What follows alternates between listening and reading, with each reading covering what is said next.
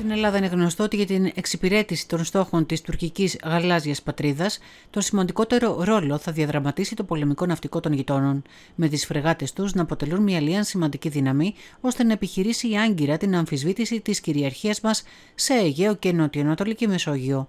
Το τουρκικό ναυτικό ξεκίνησε το έργο φρεγάτας κλάση TAC, το οποίο αποτελεί μέρος της Milgem το 2017 για την ανανέωση του στόλου των φρεγατών του. Οι φρεγάτες κλάσης Μπαρμπαρός είναι οι πιο σύγχρονες και νεότερες φρεγάτες που υπηρετούν ενεργά στις τουρκικές ναυτικές δυνάμεις. Η μέση ηλικία των πλοίων είναι 25 έτη. Καθώς τα πλοία προγραμματίζεται να εξυπηρετούν για πολλά χρόνια, το Barbaros Class Frigate Have Life Modernization Project ξεκίνησε το 2017. Στο πλαίσιο του έργου θα ανανεωθούν τα όπλα και τα ηλεκτρονικά συστήματα των πλοίων. Περισσότερες από τις μισές φρεγάτες του πολεμικού ναυτικού είναι άνω των 30 ετών και περιμένουν να αντικατασταθούν. Ο μέσος όρος ηλικίας των φρεγατών στο τουρκικό ναυτικό είναι τα 36 έτη. Η προσθήκη των φρεγατών κλάσεω Ινσταμπούλ στον τουρκικό στόλο δημιουργεί λίαν αυξημένες δυνατότητες αεράμινας θαλάσσιας περιοχής στο Αιγαίο, καλύπτοντας και τα υπόλοιπα πλοία επιφανείας του τουρκικού στόλου, αλλά και συνθήκες άρνησης περιοχής για τον ελληνικό στόλο.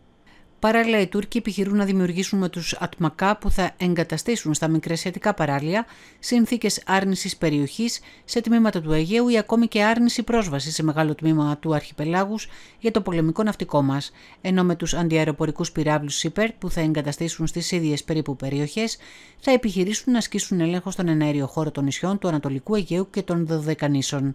Η προσθήκη των φρεγατών κλάσεω Ινσταμπούλ στον τουρκικό στόλο, οι οποίες χάρη στο σύστημα Μιντλά θα δύνανται να εκτοξεύσουν έως και 64 πυράβλους αεράμινας, καθώς και τους αντιπλοϊκούς πυράβλους Ατμακά, αλλάζει τα δεδομένα στο Αιγαίο και ιδιαίτερα σε μέρη αυτού που δεν υφίσταται πυκνό νησιωτικό σύμπλεγμα, δημιουργώντας λίαν αυξημένες δυνατότητες αεράμινας περιοχής, καλύπτοντας και τα υπόλοιπα πλοία επιφανεία του τουρκικού στόλου, αλλά και συνθήκες άρνησης περιοχής για τον ελληνικό στόλο.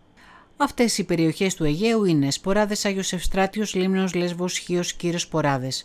Σάμος Ικαρία Μύκονος, Τίνος Άνδρος, Εύβοιας, Κύρος, Χίος. Σαντορίνη, Κρήτη, Κάσος, Κάρπαθος, Ρόδος, Τήλος, Αστυπάλαια, Σαντορίνη.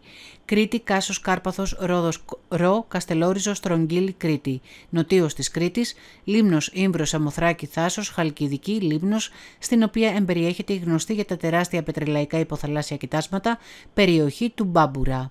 Ευχαριστούμε που μας παρακολουθήσατε. και να λαμβάνετε πρώτοι όλες τις νεότερες εξελίξεις, κάνετε like και εγγραφή στο κανάλι μας.